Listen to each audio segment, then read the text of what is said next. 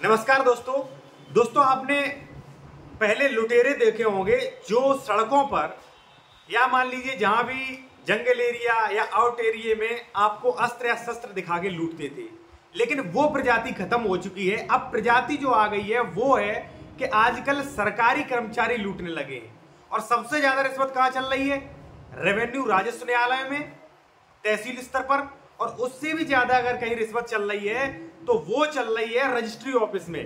अगर आपको यकीन नहीं है तो मैं कहता हूँ कि जो भी मान लीजिए मेरा वीडियो देख रहा हो, वो रजिस्ट्री ऑफ़िस के किसी भी कर्मचारी, चाहे वो बाबू हो, या रजिस्ट्रार हो, या सब रजिस्ट्रार हो, उसकी संपत्ति की जाँच करवा ले सरकार। तो पता चल जाएगा कि रजिस्ट्री ऑफ़िस में किस तरीके से आम जनता को लूटा जा रहा है। अब आपका प्रश्न होगा, अगर आप नहीं लूटे होंगे तो ऐसे कैसे लूट लेंगे? मैं आपको बताता हूँ किन पॉइंट्स पे जो है वो लूटते हैं। वो आपको गन नहीं दिखाएँगे, फिर भी आपको लूट लेंगे। अब लूटते समय वो जो भी आपकी रजिस्ट्री का सर्किल रेट होता है, उसका एक से दो परसेंट लेते हैं। यानी कि दस लाख की आप रजिस्ट्री करवाने जा रहे हो तो वहाँ पर साथियों तो मान लीजिए बीस हज़ार रुपए जो है, वो लूट लेंगे आपसे, यानी कि रिश्वत ले लेंगे। अब किन पॉइंट्स पर आपको रिश्वत ठगते हैं ये लोग? मैं आपको बता रहा हूँ। एक चीज़ मैं आपसे और कहूँगा कि साथियों आपसे रिक्वेस्ट है कि आप हमें सोशल मीडिया पे ज़रूर फॉलो करें। ट्विटर है, या मान लीजिए हमारा टेलीग्राम चैनल है, आप ज़रूर फॉलो करें। लिंक वीडियो की डिस्क्रिप्शन में मिल जाएगी ताकि आप लोग जुड़े रहें और हमारी आवाज़ को आगे बढ़ाने का काम करें। साथियों, मैं आपको बता दूँ, सबसे ज़्यादा रजिस्ट्री ऑफ़िस जैसे मान लीजिए हमारे आसपास, जैसे मान लीजिए इटावा है, ठीक है, किसनी है, मैनपुरी है तो यहाँ पे जो है कुछ रजिस्ट्री ऑफ़िस में जमकर लुटाई का काम हो रहा है। हो कैसे रहा है? देखिए, क्या है साथियों, कि भले ही भारत में मान लीजिए डिजिटल इंडिया कह रहे हो लोग, लेकिन डिजिटल इंडिया नहीं बन गया है। कई लोग जो है, ऐसे किसान होते हैं जिनका कहीं बैंक अकाउंट नहीं होता है। कोई भी बैंक अकाउंट नहीं होता है। ठीक है? तो वो जब ज़मीन खरीदते हैं तो रजिस्ट्री ऑफ़िस में जब जाते हैं तो रजिस्ट्री ऑफ़िस वाले कहते हैं कि, भाई, नगद लेन देन हुआ है, हम रजिस्ट्री नहीं करेंगे। ठीक है? और वो शासन आदेश दिखाएँगे कि नगद लेन देन दिया तो रजिस्ट्री नहीं होगी।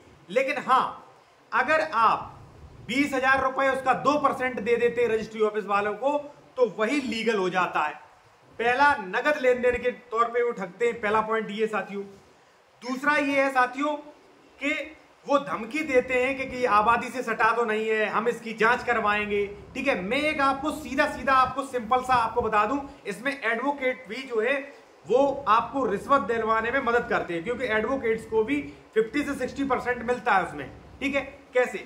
साथियों, मान लीजिए सरकार के यहाँ से कोई एक शासना आदेश आया, मान लीजिए सरकार ने जैसे कोई बात कही, रोको मत, जाने दो। यानी कि रोको मत, जाने दो।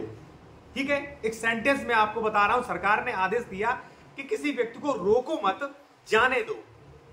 तो जो रिश्वतखोर कर्मचारी है, वो क्या कहेंगे इस आदेश को? वो कहेंगे कि नहीं, सरकार ने ये कहा है कि रोको मत, जाने दो। यानी कि सेंटेंस एक ही है। उसके दो मतलब निकल आएँगे, ठीक है ना?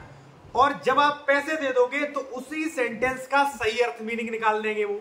तो इसी प्रकार से रजिस्ट्री ऑफ़िस में हो रहा है। यानी कि वो कहेंगे, अगर आपने नगद लेन देन किया है तो हम रजिस्ट्री नहीं करेंगे। लेकिन अगर आपने दो परसेंट दे दिया तो वही रजिस्ट्री संपन्न हो जाती है। ठीक है, पहली चीज़। दूसरी चीज़ साथियों, ये है कि जाँच के नाम पे आपको ठगते हैं। मान लीजिए देखिए जो भी आम व्यक्ति होता है वो बेचारा डर जाता है। मान लीजिए आपने बिल्कुल सही प्लॉट खरीदा है ठीक है? वो कहेंगे हम जाँच करवाएँगे अभी भेज रहे हैं कितना इसमें इसमें जो है कोई बाउंड्री तो नहीं है इसमें आपने क्या क्या करवाया है इसमें कितना कितने उसके एरिया पे कम स्टाम्प तो नहीं? तो इस तरीके से उन, उनको जो है गुमराह कर देते हैं कि क्लाइंट्स जो है जो भी मान लीजिए जनता है जो रजिस्ट्री कराने आई है वो डर जाते हैं। और डर के लिए वो एक परसेंट जो है वो वो मान लीजिए वहाँ पे एक या दो परसेंट जो है वो वहाँ पे रिश्वत देती है। सबसे बड़ा रिश्वत कहाँ दिया जा रहा है कि उत्तर प्रदेश में एक नियम है सेक्शन 98 यूपीआरसी के अनुसूचित जाति, अनुसूचित जनजाति सदस्य के कोई भी मान लीजिए ज़मीन जो है, वो अदर कास्ट का नहीं खरीद सकता है। ठीक है? चाहे वो प्लॉट्स क्यों ना हो। ठीक है? वो बात एक अलग है सेक्शन 80 हो तो वो एक अलग हो जाता है, वरना कलेक्टर से परमिशन लेनी पड़ती है। ठीक है? अब धड़ल्ले से उत्तर प्रदेश में प्लॉटिंग चल रही है। कई एस सी वर्ग के व्यक्ति जो है, वो अपने प्लॉट्स बेच रहे हैं। तो अगर आपने रिश्वत नहीं दी तो एस सी से आप प्लॉट भी नहीं खरीद सकते। और वहीं आपने अगर ज़मीन का दो या तीन परसेंट रिश्वत दे दिया तो वो एस सी से प्लॉट की भी रजिस्ट्री कर देते बिना सेक्शन 80 के, बिना सेक्शन 98 के परमिशन के। यहाँ पे धांधली चल रही है। मैं सरकार से आग्रह करूँगा कि जहाँ भी रजिस्ट्री ऑफ़िस है, रजिस्ट्री ऑफ़िस में अगर आपको पारदर्शिता करनी है तो जहाँ भी रजिस्ट्री कार्यालय है, वहाँ पे एक टोल फ्री नंबर होना चाहिए कि अगर कोई भी रिश्वत लेता है तो इस नंबर पर कृपया जो है अपना जो है मान लीजिए आपका नाम पता गुप्त रखा जाएगा और उस अधिकारी की शिकायत कर सकते हो आप। ठीक है? और जो भी मान लीजिए शिकायत करता है, उसकी प्रॉपर्टी पर कोई जाँच नहीं होगी। अगर ये रिलीफ दे दिया जाए तो मुझे लगता है कि पता चल जाएगा सरकार को कि रजिस्ट्री ऑफ़िस जो है वो कितनी लूट कर रही है।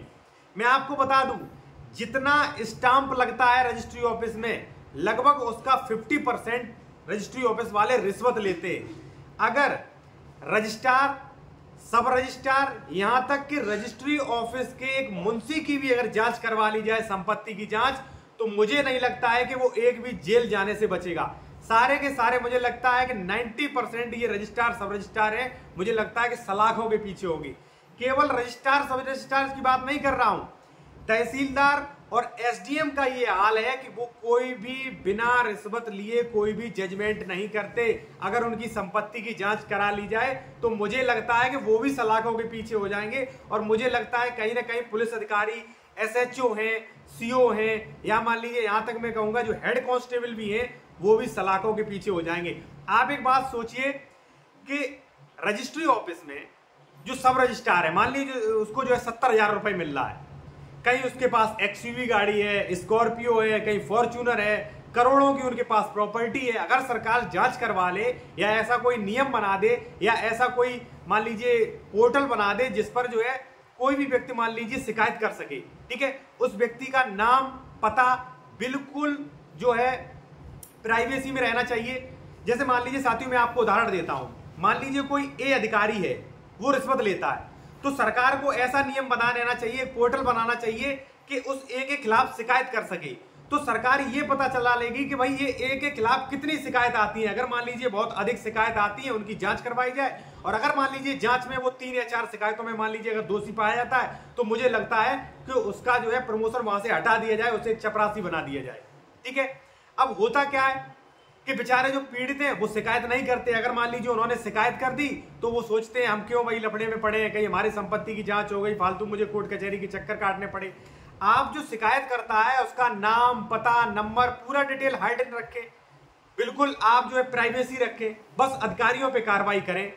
तो कहीं ना कहीं मुझे लगता है कि पारदर्शिता हो सकती है। साथियों, आप क्या क्या कहना है, आप कमेंट में अवश्य जो है अपना करें। मैं जो है, मैं बस इसीलिए मुझे थोड़ा दुख होता है कि आजकल पूरा सिस्टम अगर मान लीजिए आपको लगता है कि लोग किन से ज़्यादा पीड़ित हैं तो आप कोर्ट, कचहरी, तहसील रजिस्ट्री ऑफ़िस के चक्कर काटे, आपको पता चल जाएगा कि भ्रष्टाचारी इस देश में कितनी है। मुझे लगता है कि भ्रष्टाचारी पर भी नया कानून बनना चाहिए, जो भी मान लीजिए रिश्वत लेते पकड़ा जाए, उसे दस साल या आजीवन कारावास की सजा होनी चाहिए और उसकी संपत्ति जब्त होनी चाहिए। जब तक इतने सख्त कानून नहीं बनेंगे, तब तक इस देश की भ्रष्टाचारी जो है, वो बिल्कुल नहीं रुकेगी। साथियों, इसी के साथ साथ धन्यवाद। आपसे रिक्वेस्ट करूँगा कि आप जो है चैनल को सब्सक्राइब करें बेल आइकन दबाएँ शेयर करें और सोशल मीडिया पे अवश्य फॉलो करें। मुझे ट्विटर है इंस्टाग्राम है लिंक वीडियो की डिस्क्रिप्शन में आपको मिल जाएगी। धन्यवाद।